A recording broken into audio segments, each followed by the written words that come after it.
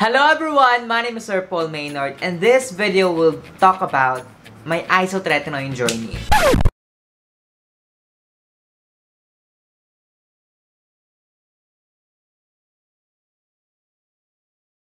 Paano ako kuminis, paano nawala mga tigyawat ko, and all. This has been the most requested video of mine. Yung skincare routine ko will be tackled in a separate video. So, itong video muna na to will definitely be more about isotretinoin. What is isotretinoin? Isotretinoin is a medication that is really used for um, acne problems. It is usually the last resort for your acne. After dermatologist, um, tend to be this is the last step. Kapag hindi na solusyonan lahat or kapag hindi nadala sa peeling or other treatments is magiinom ka na you'll take isotretinoin. It is a kind of retinoid so it's a vit it's a form of vitamin A. It works by decreasing yung sebum production. So hindi ka mag-oil while you you are on isotretinoin. So yung dosage ng isotretinoin um, it is based on your weight and also sa reaction ng body mo sa isotretinoin. Yung iba dito nagpo-purge sa umpisa, you will have breakouts while you are on taking isotretinoin. Kaya yung iba, first months is, ang dosage nila is pa isa-isa. So, it really depends upon your dermatologist kung ano yung ipe-prescribe sa'yo kung ilang dosage sa isang araw. Sa akin, ang prescribe sa akin is twice a day, tig 10 milligrams each. I took isotretinoin for 3 months lang, then nag-stop na ako. Okay, ganito itsura ng skin ko, kaya gising ko lang. Additional tip, you can have a consultation sa Pretty Looks. And then, meron din sila doon na acne trex. So, you can get it sa kanila after mong magpa-consult if ever you are prescribed to have isotretinoin. But, minsan or madalas sa kanila is out of stock. So, you have to get it by order. Or, kagaya ko kasi, um, it's not advisable na may mamiss ka ng dosage kasi babalik siya. Kaya, ang kailangan ko nun is yung talagang available. So, I have to get it at Mercury Drug. And babasahin ko lang yung nakalagay dito sa prescription. I have been informed in detail by the dermatologist of the precautions.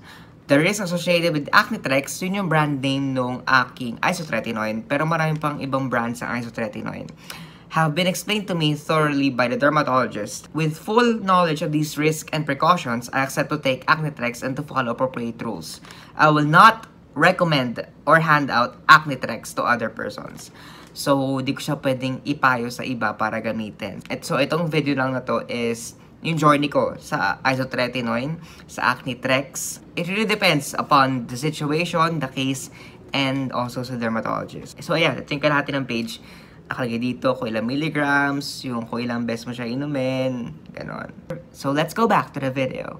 It really depends also sa dermatologist mo if prescribe ka niya ng isotretinoin agad. But you can try kung um, payagan kayo ng dermatologist niyo, kung, kung ayaw nyo na may mga pinapahid at chuchu, ganun, or ayaw nyo na magpa-peeling every month, um, try to ask your dermatologist kasi siya talaga magbibigay ng um, prescription. And yes, kailangan siya ng prescription, hindi pwedeng bumili kayo ng walang prescription. And please, please, huwag kayong bumili online ng isotretinoin kasi kailangan nyo ng proper guidance when using this. And again, hindi ako dermatologist. Mas kailangan nyo ng dermatolo dermatologist more than you need me discussing this. I have six boxes here and then di ko, and then di ko na sinundan. Hanggang doon na lang yung reseta ko. Ganito yung isang banik. Yung gamot is ganyan lang kaliit.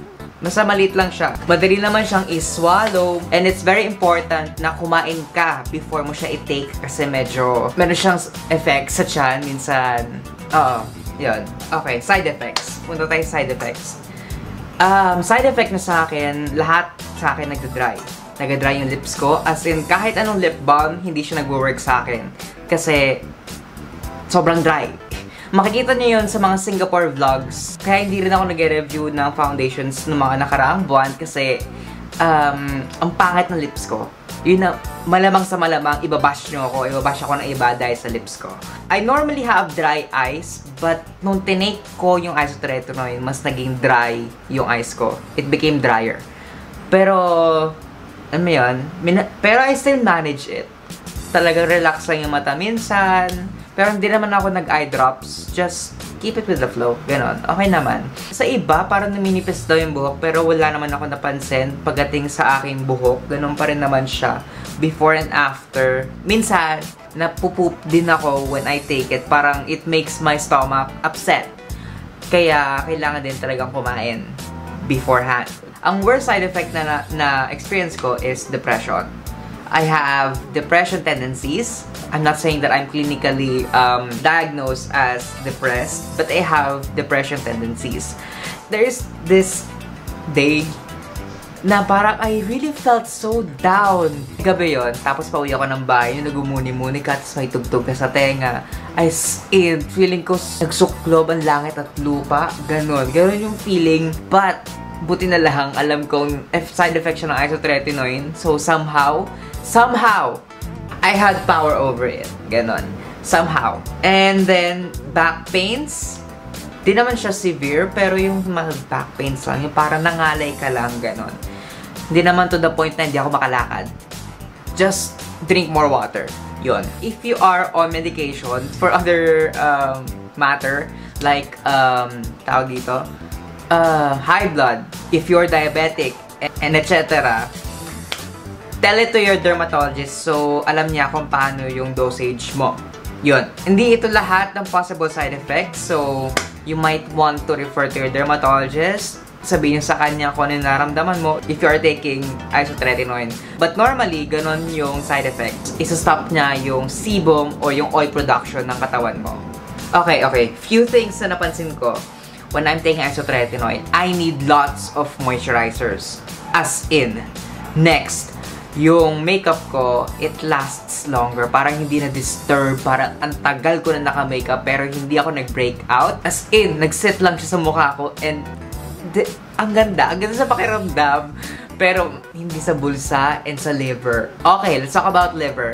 Mabigat sa liver yung isotretinoin. So, may mga dermatologists na nagkailangan mag-present ka sa kanila ng liver test. I'm not sure kung ano kung paano yon pero kasi ako hindi na ako pinag-liver test dahil una-una wala naman akong problems with my liver saglit lang din yung isotretinoin ko, 3 months lang. So, isa, sa isang box, it has 30 capsules. So, twice a day ko siyang iniinom. So, nakaka-dalawang box ako sa isang buwan.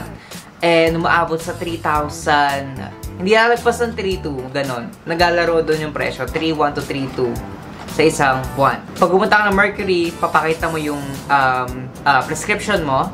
And pa-photocopy mo yon bago ka pumunta ng Mercury. Kasi kukurin nila yon So, pag pinang-photocopy mo na yung original, ipapresent mo rin yon Kasi titingnan nila kung authentic ba yung hawak mong copy And pipirmahan din nila yung both original and yung photocopy. Para pag pumunta ka sa susunod na balik mo sa Mercury, papresent mo yun, pipirmahan nila ulit, kukurin nila yung copy, ganon. Ganon ang sistema kapag bumibili ako ng isotretinoin. Sa tingi or retail, hindi ko alam kung pwede kasi um, by box ako kung bumili. So, hindi ko masagot yon. Okay. I posted an Instagram story and I asked you kung ano yung mga gusto nyong itanong sa akin. So, about my isotretinoin, baka kasi may na-miss out ako. Okay, from Lienchi, Super, Super Nen, and Scarl, Scarl Rodniel, yun ang tanong nila. Gaano po katagal magte-take bago makita yung result? It depends upon the patient. Sa akin, as early as a month, nakita ko na kaagad na wala na akong tigyawat. I'm a type of person na tinitigyawat sa muka, sa likod, sa braso, sa shoulder, and sa chest. Ngayon, ngayon, masaya na ako na wala na ako nakakamot na tigyawat sa likod. Yung pa naman yung nakakainis sa lahat and masakit. Yung may nakakamot ka sa likod. Ayun. From Patty de Rosario, hindi ko lang mabasa yung um, tawag dito. Username mo kasi na naka-crop sa Oppo kasi I think mahaba kasi yung username mo. Pwede ba siyang over the counter? And also, May Santa Maria asked the same question. Pwede ba siyang over the counter? No. We need prescription, as I have mentioned earlier. From underscore Jasper DP, first day ko today sa isotretinoin, ilang months bago na-clear pimples mo? One month lang din okay na siya. Pero continuous pa din. Kasi kapag hindi mo natapos yung full course mo, baka bumalik siya. So, kung ano yung in-advise sa'yo ng derma, kung ilang courses, Go. Kung ilang months, sunod lang tayo kay Derma. From Dayan Pulalala. Sasabihin lang ba yan sa derma para mabigyan na reseta? It really depends sa dermatologist if she or he permits na mag-isotretinoin ka. Gaano katagal before maging fresh tulad mo, ma'am? Shaha, by the way, should have your family name na for your subscribers po. Ha, pressure ako dun ah. May Santa Maria. Hi. How, how much po siya and for how long need siya i-take?